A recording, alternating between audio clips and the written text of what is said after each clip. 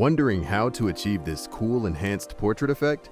We'll show you how to do it using the ASUS Dial and Control Panel app alongside with our ProArt StudioBook 16 OLED. First, open Photoshop.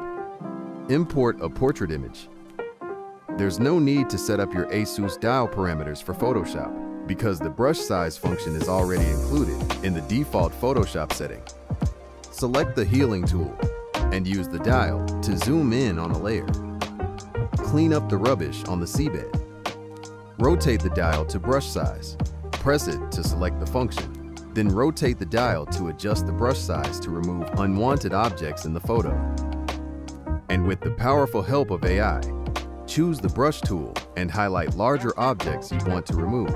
Type in what you'd like to generate, then click on Generative Fill. Use the distortion effect to add depth and adjust the composition of your image.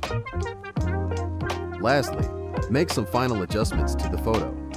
And that's it. Check out the results.